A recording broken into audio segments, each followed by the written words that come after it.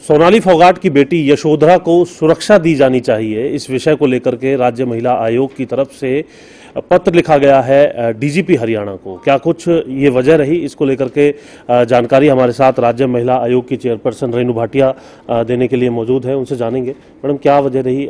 जो सुरक्षा जो है यशोधरा जो कि सोनाली फोगाट की बेटी है उन्हें सुरक्षा देने को लेकर के आपकी तरफ़ से पत्र लिखा गया। देखिए आयोग ने ये विचार किया कि यशोधरा बहुत छोटी बच्ची है पंद्रह वर्ष की है नाबालिग है। और जिस प्रकार वो यहाँ वहाँ जा रही है आ, दिमाग में ये बात आई कि उस बच्ची के लिए कभी भी रिस्क हो सकता है। जो व्यक्ति उसकी मदर का मर्डर कर सकता है, वो इस बच्ची के साथ भी कभी कोई अनहोनी कर सकता है। क्योंकि इस बच्ची ने हर चैनल पर यह बयान दिया है कि मेरी माँ को खीर में कुछ मिला के दिया जाता था और मेरी माँ उस समय तबीयत खराब हो जाती थी। इस बात को ध्यान में रखते हुए आयोग ने ये फैसला लिया कि डीजी को कहा जाए कि इस बच्ची की तब तक सुरक्षा का ध्यान रखा जाए जब तक जो मुजरिम है वो सिलाखों के पीछे नहीं चले जाते। क्या सुरक्षा को लेकर के अब आगे पत्र आपकी तरफ़ से लिख दिया गया है? कोई वार्ता कोई मीटिंग आप इसको लेकर के आगे करने नहीं अभी ऐसी कोई मीटिंग नहीं हुई परंतु मैं एक आध दिन में टीजी से फ़ोन पे ज़रूर बात करूँगी क्योंकि हमारा पत्र गया है तो उसका क्या वो उसका आंसर निकालते हैं। लेकिन मैं फिर भी उसके बावजूद एक बार फ़ोनो टॉक भी ज़रूर करूँगी।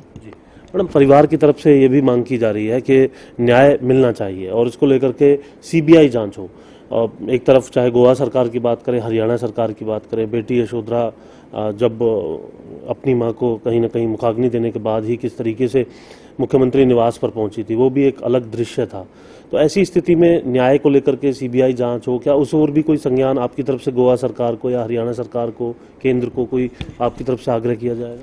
देखिए इस तरह से आ, मांग करना यशोधरा का अधिकार बनता है। अपनी माँ के मुजरिमों को पकड़वाना और उसके लिए डिमांड करना उसका अधिकार बनता है। रही बात सरकार की तो पहले जिस दिन ये हत्या हुई उसके अगले ही दिन माननीय मुख्यमंत्री अपने धन खट्टर जी ने मनोहर लाल खट्टर जी ने पहले ही दिन बोल दिया था कि सीबीआई की जाँच होगी। इसके अतिरिक्त हमारे प्रदेश के अध्यक्ष ओम प्रकाश धनखड़ जी ने भी ये बात कही थी कि जो गोवा के अध्यक्ष हैं उनसे कहा था कि इस परिवार को पूरी तरह से सहयोग दिया जाए हम्म। और पूरी तरह से जो भी इंक्वायरी में इनको मदद चाहिए वो की जाए। तो सरकार और संगठन दोनों ही इस परिवार को सहयोग करने के लिए तत्पर हैं। जी लेकिन मैडम परिवार का ये कहना है कि हम मुख्यमंत्री जी से मिलकर के आए, मुख्यमंत्री जी ने आश्वासन भी दिया। लेकिन गोवा सरकार की तरफ़ से ये कहा जा रहा है कि अभी हम पुलिस की ही जाँच कराएँगे। उसके बाद हम देखेंगे, अगर पुलिस जाँच सही दिशा में नहीं होगी तो हम सीबीआई जाँच को लेकर के विचार करेंगे। लेकिन परिवार का ये कहना है, तब तक सबूत मिट सकते हैं, क्योंकि एक और यशोधरा का जहाँ यहाँ पर ध्यान रखना चाहिए, वहीं सोनाली फोगाट के साथ भी जिस तरीके से एक महिला होने के नाते जिस तरीके से घटना घटी है, उस पर भी आपका संज्ञान जो है यहाँ पर क्या नहीं लगता कि बनता है? देखिए सोनाली की हत्या एक दुखद विषय है। इसकी, इसमें कोई दो राय नहीं, लेकिन ये गोवा सरकार का दायित्व बनता है कि वो पूरी कार्रवाई करे। आप ये देखिए कि दूसरे दिन नेशनल कमीशन फॉर वुमेन की चेयरपर्सन श्रीमती रेखा शर्मा जी ने भी अपनी दो जनों की टीम को तुरंत गोवा भेजा और उन्होंने भी मौका स्थल पर मुआयना किया, अस्पताल में किया जिस रूम में वो रही उसका किया। मतलब सारी जगह कमीशन की टीम ने भी मौका मुआयना किया और उसके बाद एफआईआर दर्ज हुई। और मुझे ऐसा लगता है कि सीबीआई की जो जाँच की मांग हो रही है वो भी अनुचित नहीं है। अगर परिवार संतुष्ट नहीं है उससे तो सीबीआई के लिए तो माननीय मुख्यमंत्री जी ने कहा ही हुआ है, परंतु गोवा सरकार का ज़्यादा दायित्व बनता है कि वो इस केस को गहराई से और सबूतों के साथ देखें।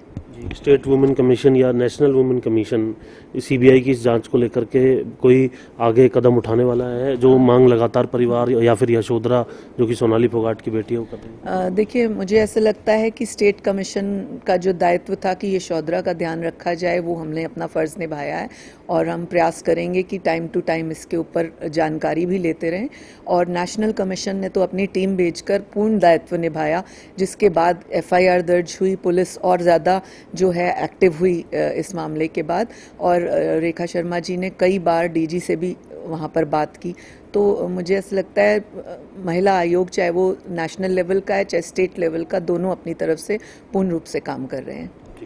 शुक्रिया बात करने के लिए। तो एक और जहाँ यशोधरा को सुरक्षा दी जाए, क्योंकि सोनाली फोगाट के साथ कई ऐसी घटनाएँ घटी थी जिनका ज़िक्र यशोधरा की तरफ़ से अपने इंटरव्यूज़ में किया गया है, उसको ध्यान में रखते हुए डीजीपी हरियाणा को राज्य महिला आयोग की तरफ़ से पत्र लिख करके यशोधरा को सुरक्षा देने की मांग जहाँ की गई है तो वहीं सीबीआई जाँच की मांग को भी अनुचित नहीं बताया जा रहा है। यानी सीबीआई जाँच भी अगर इस पूरे मामले के अंदर कराया जाए तो दूध का दूध, पानी का पानी हो जाएगा और इसको लेकर के महिला आयोग की तरफ़ से भी लगातार इस पूरे मामले पर नज़र बनी हुई है। पंचकुला से कैमरामैन सोनू के साथ जितेंद्र चौधरी एम न्यूज़